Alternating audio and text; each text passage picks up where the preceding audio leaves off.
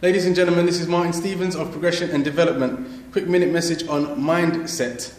Mindset is the field that professionals such as motivational speakers or life coaches work in because they are faced with the challenge of having to help individuals unlearn information and relearn new information because society or conditioning has had them think a certain way for a certain amount of years and we've got to help them overcome that. Thankfully, it's a challenge rather than a problem because a problem is something you, you see as a negative, whereas a challenge is something that you rise to.